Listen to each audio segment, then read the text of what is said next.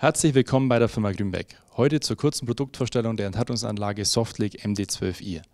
Der Maßstab für vollenthärtetes Wasser in kompakter Bauform.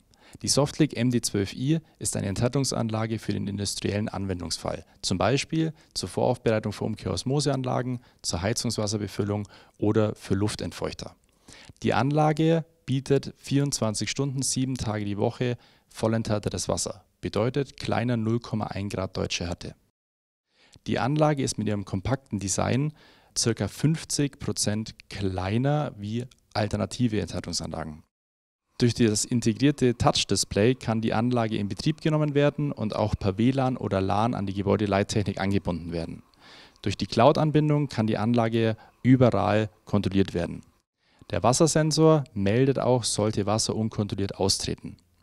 Wie in unserem Anwendungsbeispiel hier ist die Anlage parallel vor Ort, um einen höheren Volumenstrom als Voraufbereitung vor der Umkehrosmoseanlage zu leisten.